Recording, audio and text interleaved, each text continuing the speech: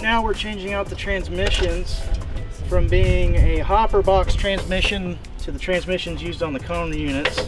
Just takes a little bit of fiddling with, uh, trying to get everything lined up. Um, but once it's on, it's pretty much ready to go. I want 28. 28 on top? Yeah, 28 on top. Right now we're just gonna be uh, practicing, uh, making sure everything works right. And then uh, we're gonna string a line down the edge of the length of the field. And then we'll go ahead and start planting. Uh, but we just wanna make sure everything's working before we go ahead and plant the rest of the nursery. Either speed up or slow down, okay? And I'll tell you when to stop. I'll say ho, okay?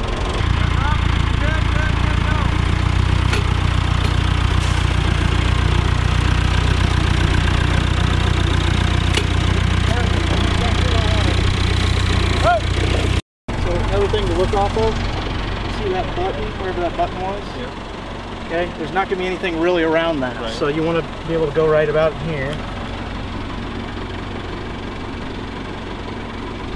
Some good water in here too.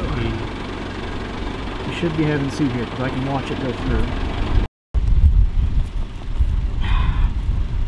Maybe we go shallower. Okay. Keep digging. We gotta find this stuff. Units? Not spinning the units.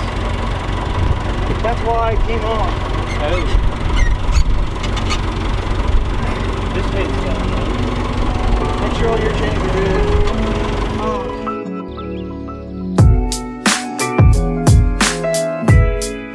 So a little bit about uh, planting research plots uh, with the cone unit is that uh, there's a lot of, of, of moving parts, but it's very simple. We've only got a few chains moving, we got a little bit of electrical line moving, um, but with even with simple things, uh, you know, things break. Uh, so the other day, whenever we are trying to plant a little bit of the nursery over there on the other side of the barn, we had a patent link slip off when we were planting and um, had to go get that replaced. And it was about five o'clock at night, and I kind of wanted to quit, but uh, powered through it. We went over to the John Deere dealership, got a got a new patent link, and and got it uh, fixed right up. Uh, you know, a few days after that, we had the breaker slip on us because we had the powers uh, backwards on our leads going in from the tractor's battery. Uh, you know, everything with that, there's always a little bit of, of problems that, that, that goes with planting research plots. But, uh, you know, we power through it, we, uh, we fix our mistakes, and, you know, uh, like out today, we're planting the last little bit of the nursery finally.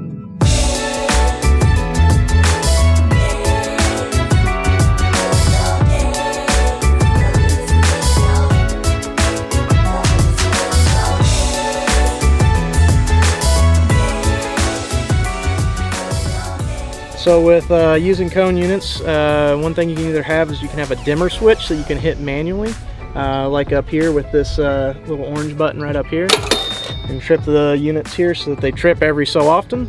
Or you can use a cable. Uh, and you string a cable the whole length of the field and every uh, 17 and a half foot or 20 foot, whatever your button length is between buttons, uh, you string that across the field and when you those buttons roll through this mover or this roller right here, there's a micro switch on the other side of this. When you pick up on that, it trips those units. And so um, every 20 foot, every 17 and a half foot, when you're planting that research plot, uh, you want to have a little bit of an alley. Uh, so what you do is you set up your gear ratios right here uh, so that these cone units spin, uh, spin out, as well as a few extra cells in here uh, before you hit that next button. And that gives you a little bit of separation before uh, you hit that next plot.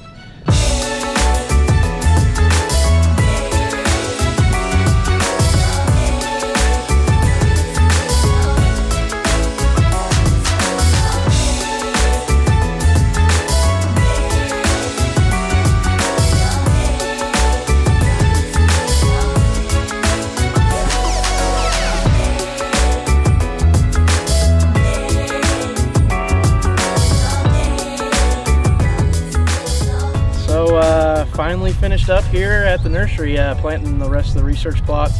Uh, it's taken about six months worth of planning, uh, packaging up the seed, and and in every one of those six months, we're, we're hitting the next step, we're getting the next plot ready, and you know what? Uh, I'm glad it's done. I'm glad we got it all on the ground. Uh, I only had a few mistakes this year, but that comes with the year, and uh, we'll learn from those mistakes, and we'll try to fix them for next year.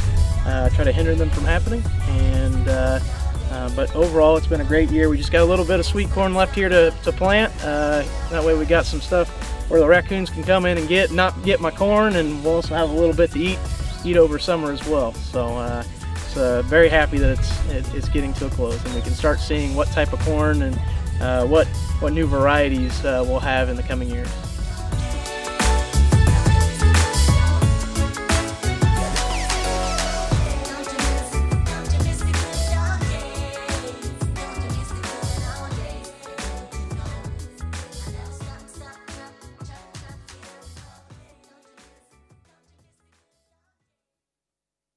Supposed to rain this afternoon too, isn't it? Yes, unfortunately.